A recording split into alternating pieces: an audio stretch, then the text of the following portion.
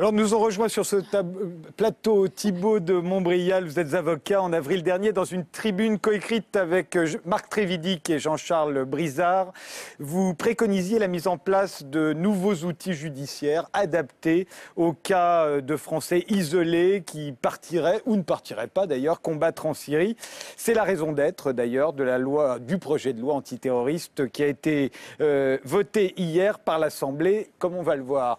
Nathalie Goulet, vous êtes sénatrice UDI de l'Orne. Vous avez obtenu en juillet dernier la création d'une commission d'enquête parlementaire sur les réseaux djihadistes. Pour vous, la menace terroriste rend nécessaire l'adoption d'un Patriot Act, comme après le 11 septembre aux États-Unis, mais au niveau européen et... Et sans les dérives. Et sans les dérives américaines. Enfin, Pierre Torres, vous, vous êtes photographe de presse. Vous avez été retenu en otage en Syrie pendant dix mois.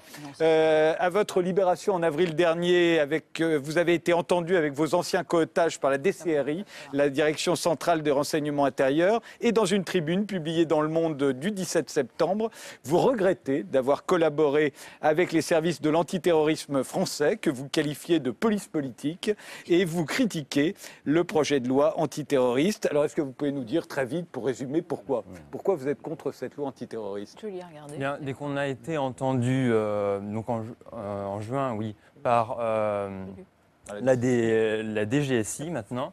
Euh, il a été très clair dès le départ que euh, ces dépositions euh, ne seraient pas utilisées, seraient en, en, blackout, même ne seraient même pas transmises à l'avocat de Mehdi Nemouche. Il faut savoir que c'est là où on a dit que Mehdi Nemouche était, avait fait partie de, de, nos geôliers en Syrie, effectivement.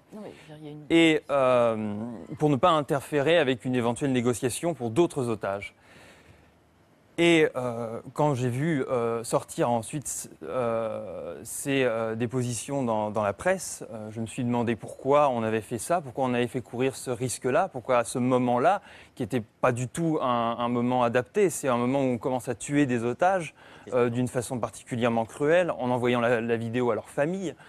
Et je me suis dit pourquoi, on, a sorti ce dossier-là à ce moment-là où c'est euh, extrêmement euh, dangereux, et, mais aussi extrêmement médiatique. Et ce qui, ce qui s'est avéré, c'est que cette fuite a été organisée par l'antiterrorisme français, avec éventuellement des liens à un niveau de l'État plus important. Euh, mais euh, en tout cas par l'accord de tout le monde, en vue euh, de la promotion d'une certaine politique. Et on l'a vu avec la, date de publication de la tribune, que ça tombe parfaitement avec un, agenda parlementaire qui vise à adapter des lois particulièrement liberticides qui vont abaisser tous les standards de la justice française à un niveau qu'on n'avait encore jamais vu. Thibault de Montbrial, vous êtes avocat? Oui, je, voudrais juste dire que à M. Torres, que bien sûr, j'ai beaucoup de sympathie, comme la plupart de nos compatriotes, pour l'épreuve qu'il a, a traversée. Je veux juste dire que sa critique me paraît euh, un petit peu rude euh, pour des services euh, qui ont quand même permis sa libération. C'est une chose qu'il ne faut quand même pas oublier en amont, c'est que les services de renseignement français ont permis la libération des, quatre otages, dont M. Torres. Maintenant, le deuxième point que ce qu'il indique m'inspire, c'est que dans les affaires de terrorisme, les dossiers sont transmis en temps réel par les services de renseignement euh, à l'autorité politique et que euh, la, fuite, elle a eu lieu, hein, ça c'est un élément matériel que chacun a pu constater, mais que dans la tribune publiée par M. Torres dans Le Monde, euh, il incrimine la, les services de renseignement et le parquet antiterroriste, il ne parle à aucun moment du politique. Et ce que je trouve dangereux sur ce point particulier, c'est que nous avons besoin que, que nos compatriotes, lorsqu'ils ont des éléments à rapporter après des épreuves passées à l'étranger, etc., soient ce qu'on appelle débriefés. Et il faut ce qui est arrivé. Et il faut qu'ils puissent être entendu en confiance. Moi, je dis juste que quand, ce que vous racontez dans votre tribune, quand euh, la procureure et, quand les policiers de la DGSI vous ont dit que euh, CPV resterait euh, et ne sortirait pas, moi je crois plutôt, à travers mon expérience professionnelle, à leur sincérité et sans doute à l'insincérité du politique. Voilà, c'est un avis personnel. CPV, que ce soit bien clair. Oui, je, attendez, Elisabeth, on sait que vous voulez parler. le, les, en l'occurrence, il s'agissait de savoir si Médine et Mouche avait été votre geôlier et si vous confirmiez qu'il l'avait été, vous pensiez que ça ne sortirait pas dans la presse, que ce ne serait pas révélé. Et ce que vous reprochez, c'est que ça, a fuité. Hein, on est, bien d'accord. Hein. Juste, attendez. Oui. Et on est bien d'accord Oui, on, est bien d'accord. Et le dernier point, peut-être, puisque vous m'avez demandé ma réaction, c'est que je ne crois pas, au regard de la situation, mais on en parlera plus tard, que quiconque avait besoin qu'on sorte un élément spectaculaire pour justifier que cette loi était urgente. D'accord. Alors maintenant, je ne veux pas qu'on fasse un débat sur cette question-là, mais bien sur la loi telle qu'elle, sur le projet de loi qui, qui arrive là. Et je voudrais savoir si Laurence Rigoulet, euh, si cette loi vous convient. Vous êtes sénatrice Euh, vous dites que euh, vous avez dit un Patriot Act sans les dérives américaines. Est-ce que là, la loi Cazeneuve, c'est comme ça qu'on l'appelle maintenant, est-ce que ça vous convient? Est-ce que c'est ce qu'il fallait faire? Alors écoutez, d'abord, elle n'est pas encore arrivée au Sénat, donc je vous demanderai toute votre indulgence. deuxièmement, donc on peut encore l'améliorer. deuxièmement, je suis à la Commission des Affaires étrangères, donc c'est déjà pas un texte qui viendra chez moi, mais j'ai quand même regardé d'assez près ce qui se passait. Et vous avez parlé tout à l'heure de la commission d'enquête que j'ai demandé parce que euh, déjà au mois de mai, euh, déjà après l'affaire Mera et les autres affaires, j'avais le sentiment que notre dispositif, notre arsenal juridique était quand même relativement important et j'étais pas tellement sûre qu'il soit déjà complètement appliqué. D'ailleurs, il y a des décrets qui sont pas appliqués, euh, de la LOPSI, etc. Et j'avais surtout le sentiment que les moyens en hommes et, les moyens financiers n'étaient pas non plus réunis pour permettre à nos forces de police et de gendarmerie d'arriver à juguler ce flot de, djihadistes français et, autres qui, partent en Syrie et en Irak. Donc, euh, euh, Certaines dispositions sont absolument euh, nécessaires, d'autres me semblent totalement inutiles, et je pense que c'est l'objet de. de alors justement, parlons-en. Le projet entend d'abord lutter contre la propagande terroriste. Edwy Plenel. Et on est au cœur. ce débat est très grave hein, et très important. Madame Goulet tient son blog sur Mediapart. Euh, monsieur Cazeneuve m'a répondu, c'est une tribune que vous pouvez lire sur Mediapart, car j'ai dit pour moi que c'est une loi d'exception qui euh, euh, fait reculer notre État de droit et qui nous rappelle de très mauvais souvenirs dans notre histoire républicaine. Euh, en l'occurrence, un souvenir très précis, c'était déjà du terrorisme, c'était déjà une révolution comparable à la révolution numérique, c'était le début de la presse de masse. C'est ce qu'on a appelé, Léon Blum, notamment, jeune conseiller d'État, les lois scélérates, qui, face aux attentats anarchistes, au moment de la fin du, 19e siècle, ont tué un président de la République, ont mis une bombe euh, dans le Parlement.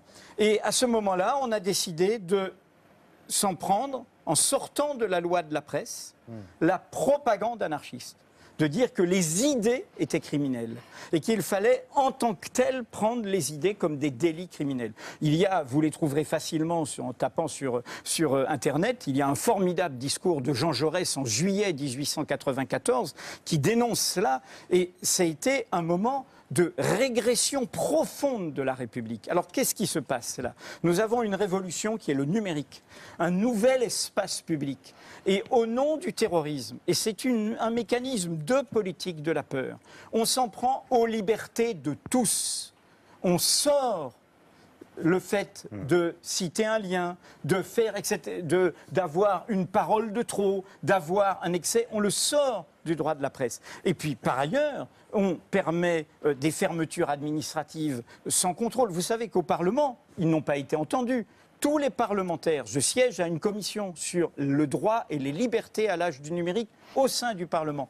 Tous les parlementaires spécialistes de cet espace public, de l'UMP, Madame euh, euh, Laure de la Rodière, du Parti Socialiste, Monsieur Christian Paul, ont mené la même bataille en disant danger, danger, danger. Et je voudrais dire, parce que quelle est la réponse de Monsieur Cazeneuve? Il dit vous avez raison, vous avez raison d'être inquiet. Il ne faut pas que ce soit une loi d'exception. Donc il me dit, il me répond, j'ai pris toutes les précautions. Je lui dis, Monsieur Cazeneuve, vous connaissez moins ce ministère que moi. J'ai traité souvent la police. Et puis comme journaliste, je suis ça. Et vous en avez un exemple qui concerne Monsieur Torres aujourd'hui même.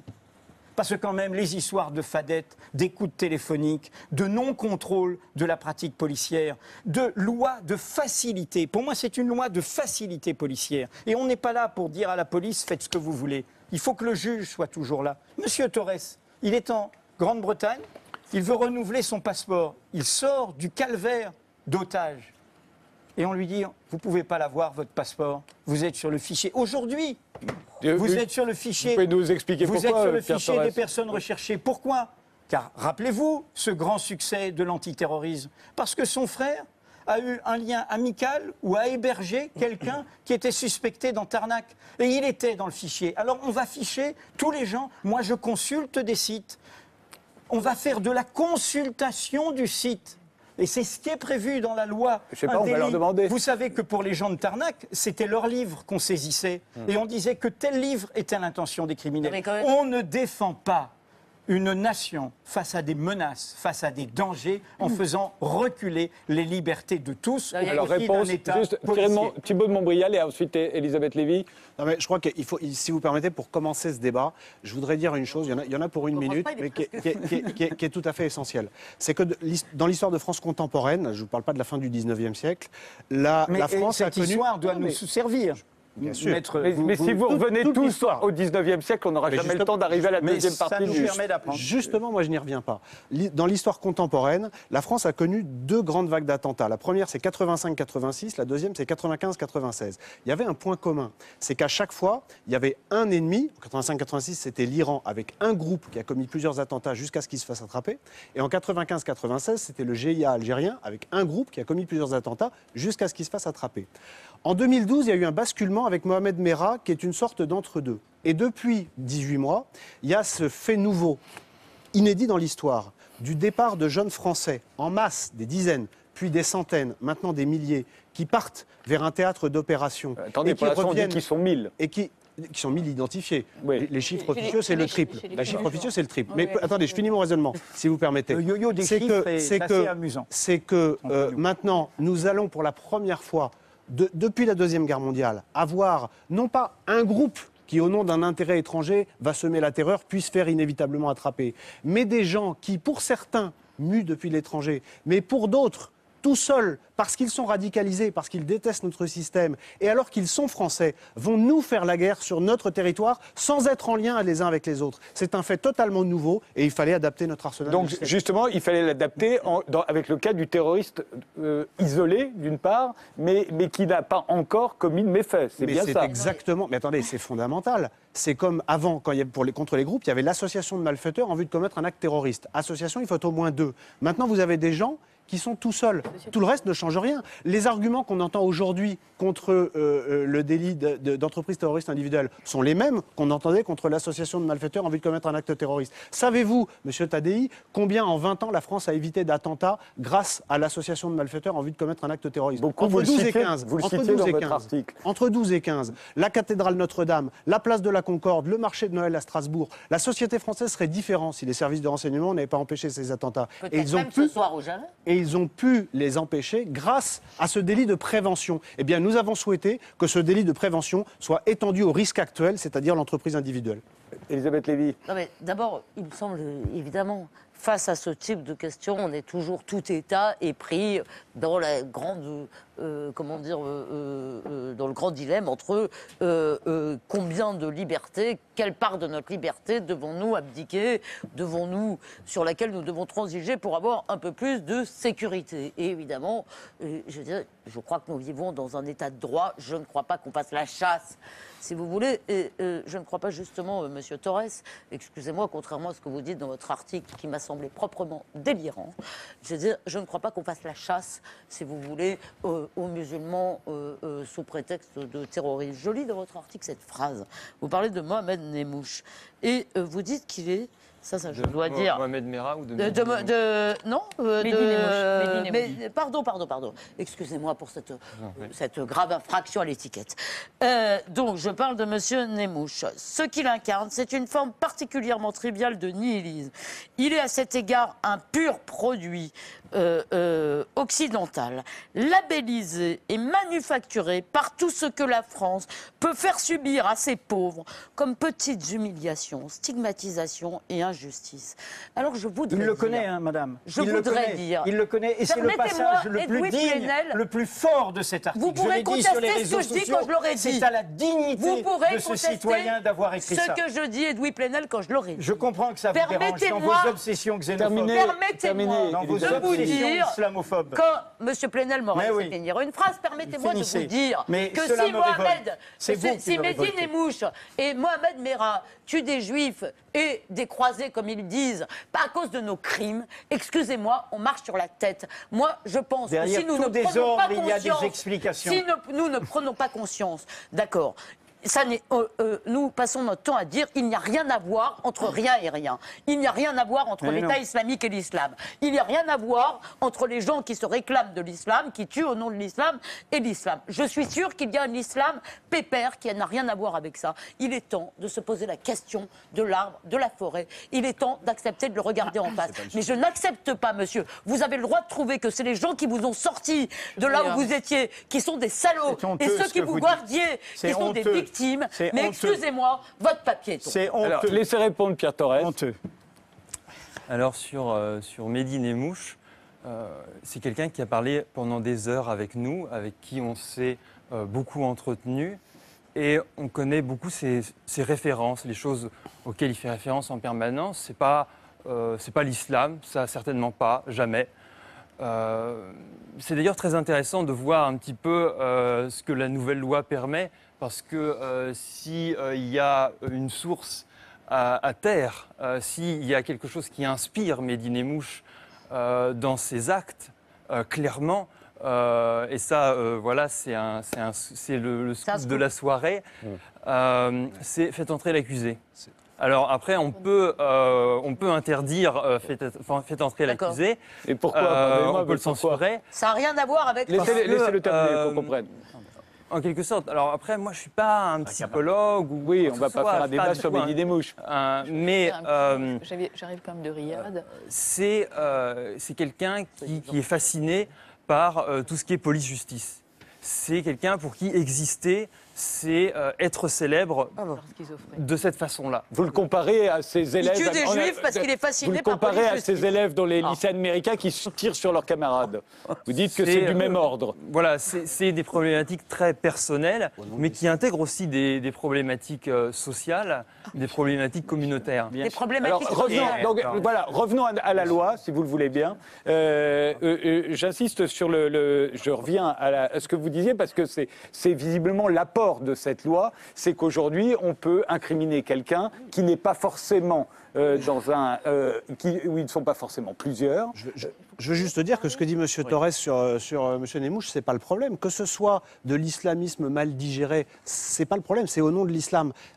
Nous, franchement, moi j'aurais aimé, et les gens qui ont réfléchi Non, à cette non, la auraient aimé, auraient aimé, auraient aimé que euh, les, les institutions représentatives de l'islam en France réagissent plutôt aux horreurs de, de l'État islamique de- au début d'été. Voilà. Maintenant, maintenant, je a pense, que, je derrière pense que là, on va. Vous êtes que- avocat. Oui, mais vous, savez, vous avez plaidé Non, mais- parfois, mais pas seulement pour j'allais des vous répondre, monsieur Plenel. Derrière tout désordre, il y a des explications. Oui, mais justement- Être du côté Oui, de mais- la raison, mais- c'est chercher les causes, c'est ne pas diaboliser Oui, les mais autres. ça nous amène à un double débat. Il faut, Là, tout vous avez- là où je suis Ne d'accord avec vous- diabolisons pas mais attendez, surtout. Là où je suis d'accord avec vous. qu'il faut Diabolisons. crier Est-ce qu'il faut crier pour Mais prendre la parole oui, mais je voudrais qu'on revienne à la loi. mais on y revient.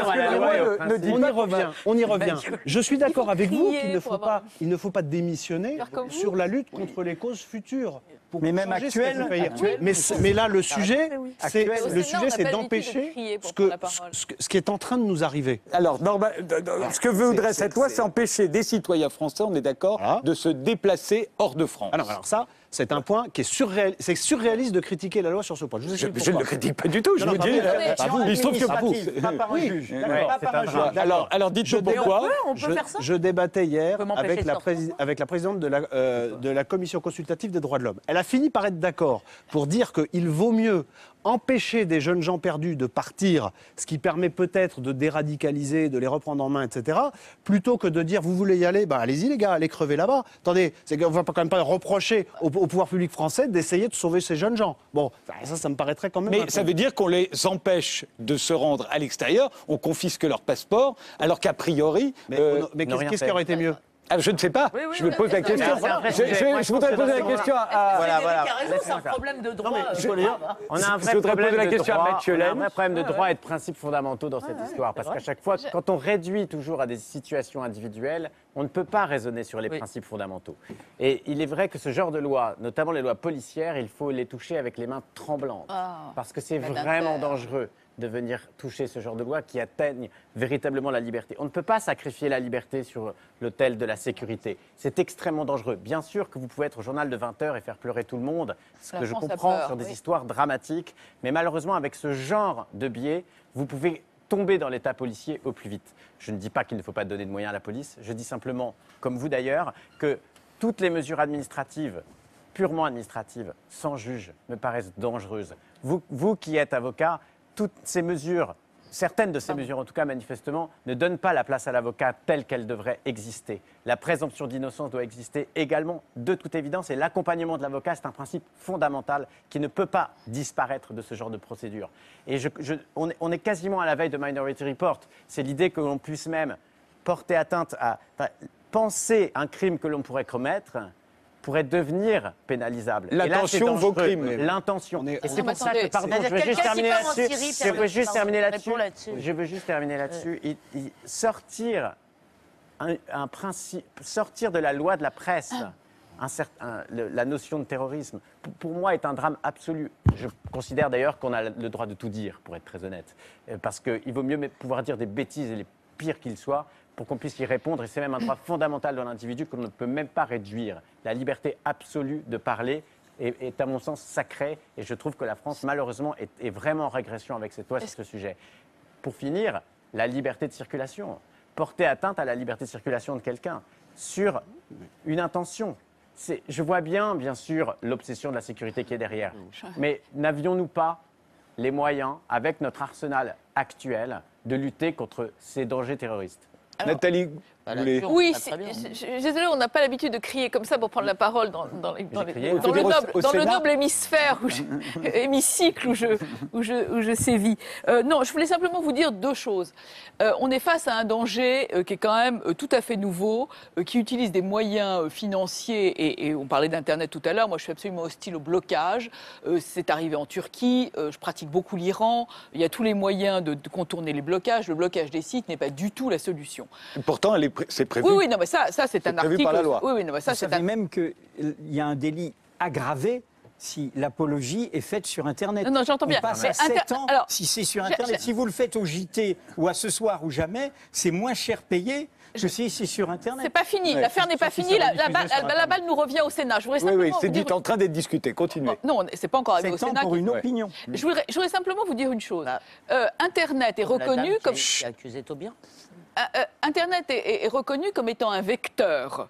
Euh, de, de, ces, de, ces, données, de ces mouvements, de l'itinéraire, de la conversion, parce qu'il y a 25% des gens qui vont aujourd'hui en Irak et en Syrie qui sont, qui sont des, chrétiens convertis à l'islam les chrétiens convertis à l'islam. Donc il n'y a, pas de, stigmatisation, il y, a, aussi un phénomène d'identité, euh, de jeu de rôle, il y a tout un, environnement sociologique dont la loi ne tient évidemment absolument aucun compte.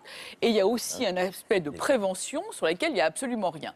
Donc ça, ce sont des points sur lesquels on va revenir au Sénat parce que c'est absolument indispensable d'encadrer euh, ces dispositifs parce que le tout répressif ne fonctionnera pas. Le tout répressif ne pourra pas fonctionner parce que vous avez des tas de gens qui s'infiltrent et qui infiltrent ces fameux sites et ces fameux réseaux et qui utilisent euh, les, mots-clés qui vont, qui vont euh, évidemment euh, entraîner de la surveillance, voire des interdictions.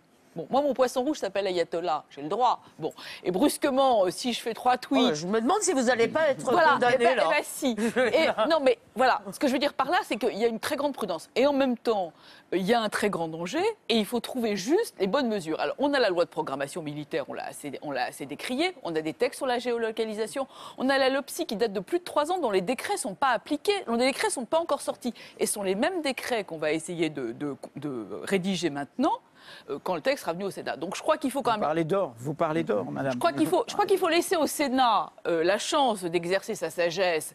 Et parce que on a une, si vous voulez, moi j'arrive de Riyad. Hein, j'étais à Riyad hier, euh, où on a débattu pendant deux jours de ces questions avec des gens qui, reconnaissons-le, ont été un peu schizophrènes et ont joué. Attendez, pardon, c'est des lois françaises, on discute à Riyad? On, discute de coopération. Ah, oui, mais c'est aussi. non, je veux dire, on ne parle pas de la loi qui est en train d'être votée à Riyad. On ne parle pas de la loi qui est mais les objectifs sont, sont, assez identiques. Donc on n'est pas tellement éloigné du sujet notre, de ce Notre allié est un des principaux pays euh, désignés pour les peines de mort par Amnesty International et par une certaine intolérance, mais c'est pour ça... par les madrassas ou non, mais justement, c'est pour même ça que les décapitations. Et, c'est pour ça que c'est intéressant Vous voyez. De, de, dire que les sujets de prévention sont aussi essentiels, même dans ces pays-là qui ont été un peu schizophrènes. Alors, Pierre Torres. Euh, bah, je peux réagir sur différentes choses.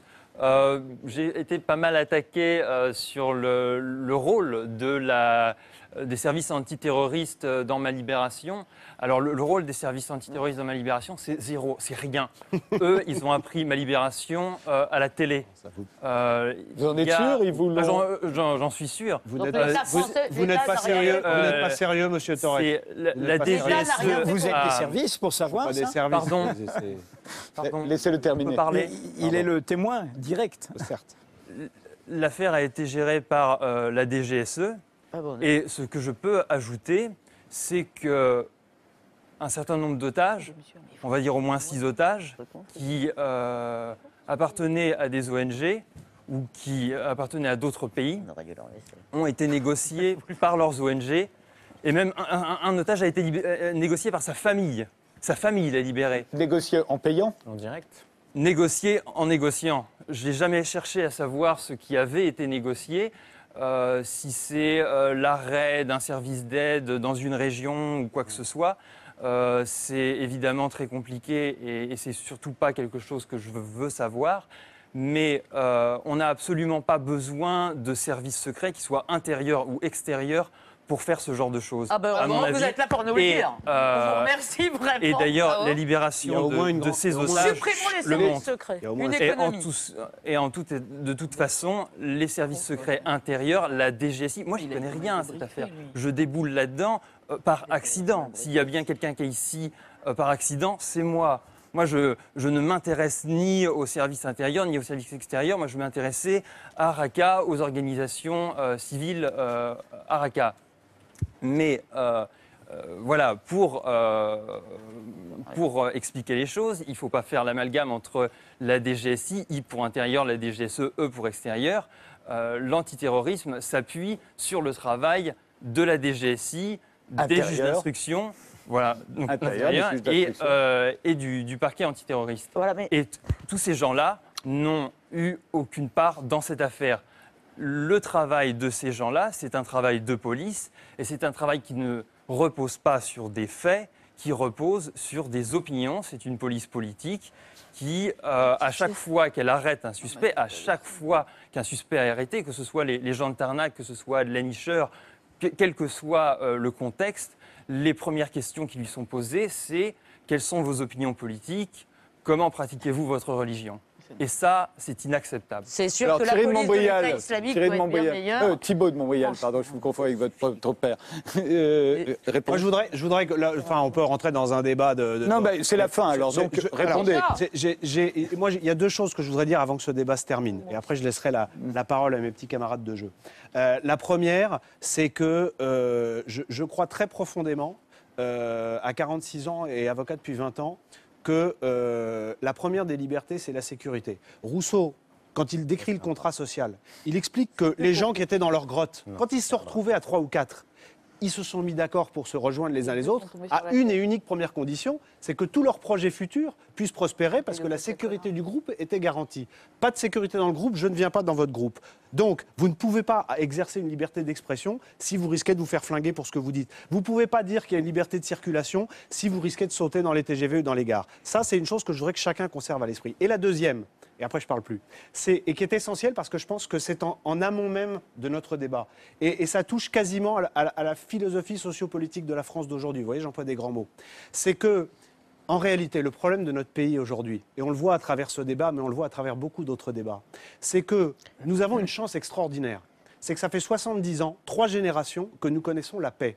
Et nous avons aujourd'hui au pouvoir des femmes et des hommes politiques, des femmes et des hommes dans les administrations, des femmes et des hommes dans les services de police, dans la magistrature, chez les journalistes, partout, qui ne savent plus ce que c'est que d'être exposé, d'être menacé par une violence extrême. On n'a plus faim, On n'a plus besoin de se battre. Malheureusement, ce moment est en train de revenir. Je pense que notre pays est à l'aube de moments qui sont extrêmement difficiles, qui dépassent de beaucoup euh, les, débats a pu, que vous avez pu avoir avant euh, sur ce plateau, ou la question de savoir si on va voir deux ou trois attentats et qu'un groupe va être arrêté. Nous avons pour la première fois des gens qui sont français et qui détestent notre système, qui sont aguerris, entraînés au combat et qui trouvent dans les banlieues des armes de guerre et des explosifs. Et nos forces de sécurité, que ce soit les politiques, que ce soit les magistrats ou que ce soit les policiers, n'ont absolument aucune idée de ce qui va se passer dans les semaines qui viennent. Je vous remercie tous les six. je peux juste dire, c'est exactement le discours qui désigne un ennemi intérieur qui est en train de mettre la France en guerre avec elle-même. Mais c'est un ennemi intérieur. C'est la politique de la peur. C'est pas des témoins de Jéhovah. Version française, c'est exactement la catastrophe qu'il faut éviter. La démocratie française est en péril avec des discours mais comme ça. Ce sera, je suis désolé, c'est la fin de cette émission. Je vous remercie tous les six d'y avoir participé. Et j'imagine qu'on reprendra ces conversations, ces débats. On ne finira pas d'en parler tout de suite. On se quitte évidemment en musique avec Sin Kane. Il est d'origine soudanaise, euh, installé aux États-Unis. Il sort son troisième album et il nous chante Hold Tight. Sin Kane, c'est à vous.